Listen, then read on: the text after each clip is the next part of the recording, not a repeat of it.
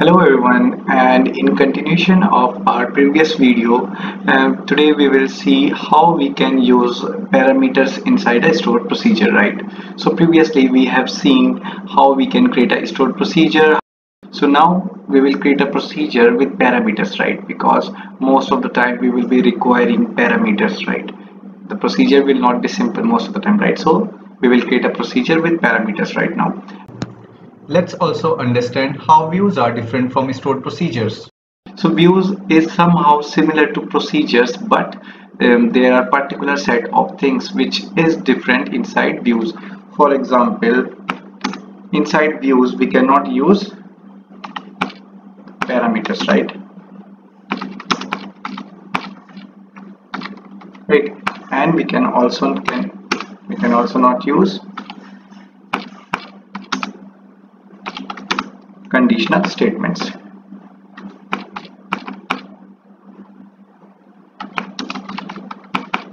Right, but inside a procedure we can use parameters, we can also use conditional statement like if else, right? So let's remove these lines and let's get into the procedure and I'll be creating a procedure by choosing this option and I can name this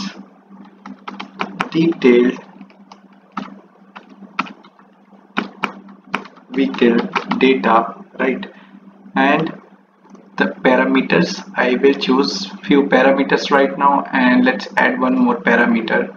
And this in basically is input right? And I need to give the name of this particular parameter. I can select the option in and then I can give the name.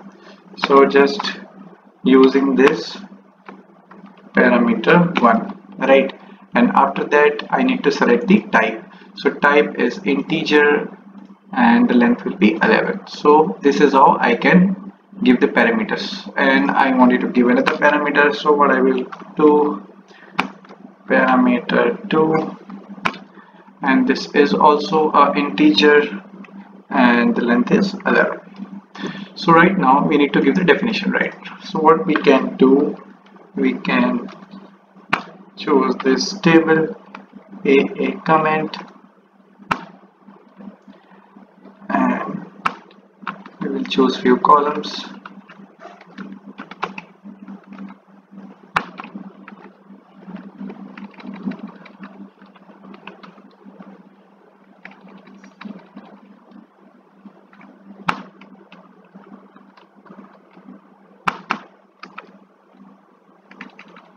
right so after choosing the column what I need to do basically I need to use this particular parameter which we have created right? So I need to use this and how I can do that?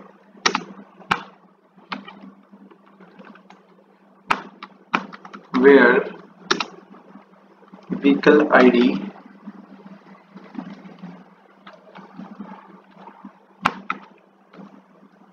is equal to the parameter name.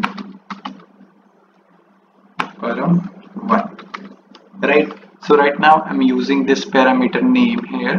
So uh, in MariaDB right we can use this parameter name directly. But in few of the database we need to use at the rate to use the variable name. So right now it is fine. I can use this option. And then I can also add other condition if required. So let's not use other condition let's check this one first and let's also remove the second parameter. And this is complete the definition is complete and I can hit this go button. Right and if I will go inside my procedures I can see this procedure. Detailed vehicle data right and if I click on this execute it is asking me for the parameter. What I can pass here let's pass to here and let's click on go. So th this is the desired output right? This is the vehicle ID right? I have added the condition for vehicle ID and it is giving me the filtered data. And if I wanted to use the query instead of this directly option so what I can do? I can go inside my sql and I can pass this parameter 1 and after setting this at the rate PO basically in the background in the query it is working like this only. We are um, passing the value by using the at the rate and we are setting the value of this PO as 1 and after that we are calling this stored procedure by passing the value inside this particular brackets.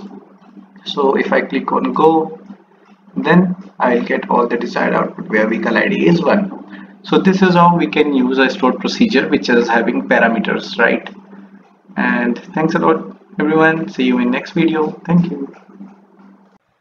Please do like share and comment and for queries and contact you can see the description box. Thank you